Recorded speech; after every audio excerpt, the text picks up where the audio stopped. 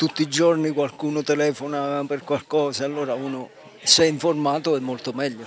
È importante sapere come comportarsi. Da quella del finto carabiniere al falso funzionario, ma anche online tramite mail, sms o su WhatsApp. Sono decine le tipologie di truffe ai danni degli anziani. L'ultima mi è arrivata che è famosa, quella di mamma mi si è rotto il telefono.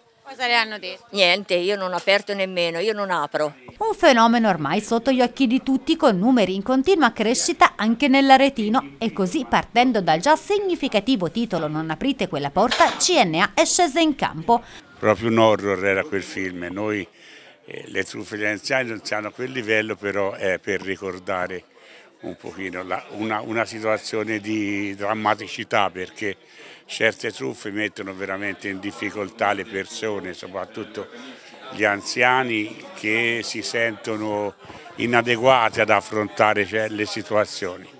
A dispensare consigli per evitare di cadere nelle trappole di malintenzionati sono stati proprio rappresentanti delle forze dell'ordine. Allora, devono stare attenti sicuramente alle persone che non conoscono, perché purtroppo i truffatori si, mm, diciamo, eh, si approfittano a volte della diciamo, dell'ingenuità del, dell'anziano che è propenso insomma, a fidarsi più del, delle altre persone anche con, con, gli sconosciuti. Quindi effettivamente anche il titolo dell'incontro odierno è, rende, rende l'idea. Non aprite quella porta, poi io potrei aggiungere non aprite quell'SMS perché anche dagli SMS e dagli eventuali messaggi WhatsApp possono derivare insomma, delle, delle truffe che riescono a carpire denaro al, ai poveri anziani.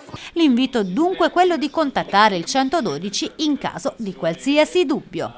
Sono molto frequenti perché c'è un'abitudine delle persone che quando vengono truffate sono reticenti, quindi hanno vergogna di quello che gli è capitato e quindi non tendono a parlarne, ma tendono a subire. Ecco perché bisogna avere il coraggio di affrontare l'argomento ehm, anche nelle sedi istituzionali per far sì che questi metodi di raggiro vengano a cessare.